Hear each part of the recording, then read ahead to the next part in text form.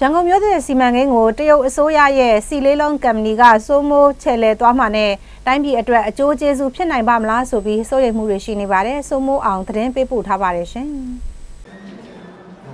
ရန်ကုန်မြို့တစ်ပတ်ကမ်းမှာရှိတဲ့ကျင်းမြနိုင်မြို့နယ်စစ်ကြီးကနောင်တို့မြို့နယ်နဲ့တွန်လေးမြို့နယ်ကမြေက2000ကျော်မှလုံးမဲ့ရန်ကုန်မြို့တဲ့စီမံကိန်းနဲ့ပတ်သက်လို့ဆွေးနွေးပွဲကိုမတ်လ6ရက်နေ့ကရန်ကုန်မြို့ UMCCN အတင်းကျုံမှာပြုလုပ်ခဲ့ပါတယ်ရန်ကုန်မြို့တဲ့စီမံကိန်းမှာလုပ်ကိုင်ခွင့်ရတဲ့ကုမ္ပဏီအနေနဲ့ အမေရိကန်ဒေါ်လာ1.6ဘီလီယံယင်းနှိမ့်မြုပ်နှံမှာဖြစ်ပါတယ်။ရန်ကုန်မြို့သစ်စီမံကိန်းလုပ်ကိုင်ခွင့်ရမယ်လို့နာမည်ထွက်နေတဲ့ China Communication Construction Company ဟာအရင်ကကမ္ဘာ့ဘဏ်ရဲ့နာမည်ပြစင်းမှာပါဝင်ခဲ့တယ်လို့တခြားနိုင်ငံတွေမှာယင်းနှိမ့်မှုတွေလုပ်ကိုင်ခဲ့စဉ်မှာလည်းဝေဖန်မှုတွေခံခဲ့ရတာပါ။အတူပြည်မှာအပြောင်းလဲရှိတယ်။တူပြည်က company တွေလည်းမပြောင်းလို့မရဘူး။သူတို့လည်းအပြောင်းလဲရှိရမှာ။ဆိုတော့ဒီနေ့ဒီရဲ့ black list မှာတော့မရှိဘူး။ဒါပေမဲ့ကျွန်တော်ပြန်ကြည့်တာတော့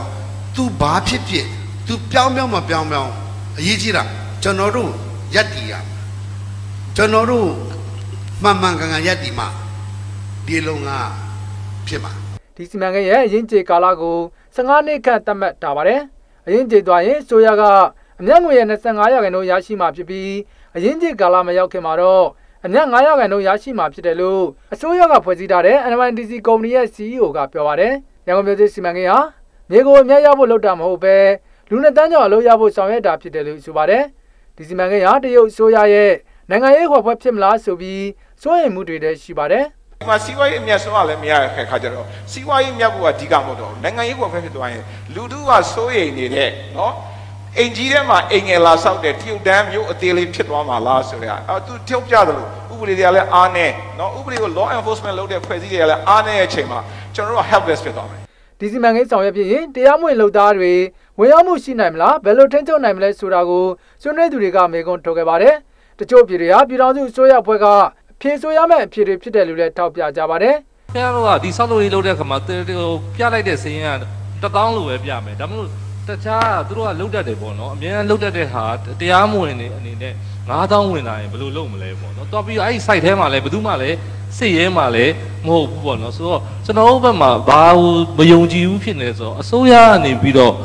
enforcement လုပ်နိုင်တဲ့ capacity မရှိဘူးလို့နော်လူတော်တော်များများပေါ့နော်ဟိုတာမန်လူကလည်းထင်နေတယ်ဟိုကလည်းထင်နေတယ်ဆိုတော့နောက်တစ်ခါကျရင်ဝိုင်းမှာနောက်တစ်ခါကျအကြံပေးချင်တာတော့ပြည်တော်စုအစင်းကနေပဲဆင်းလာပြီးတော့ ရန်ကုန်တိုင်းဆိုတာလည်းမဟုတ်ဘူးဟိုကလည်းမဟုတ်ဘဲနဲ့ပြည်တော်စုအစင်းကနေပြီးတော့စီမံဘဏ္ဍာတို့ဘာလို့အားလုံးပါတယ် BRN ကော်မတီတို့ဘာလို့ပါတဲ့ဟာမျိုးကိုကြဲကြဲပြန့်ပြန့်လုံးပါပဲပို့ပြီးတော့ကောင်းမယ်လို့ကျွန်တော်အကြံပြုချင်ပါတယ်ဒီစီမံကိန်းမှာပါဝင်တဲ့လဲမြေ20ရာခိုင်နှုန်းကိုပိုင်ရှင်ကရော်ကျေးရရှိမှာဖြစ်ပါတယ်စီမံကိန်းဇုံထဲမှာပါတယ်ကျေးရွာတွေကိုလည်းမြို့ပုံစံပြန်လဲတိစောက်ပေးမှာပါ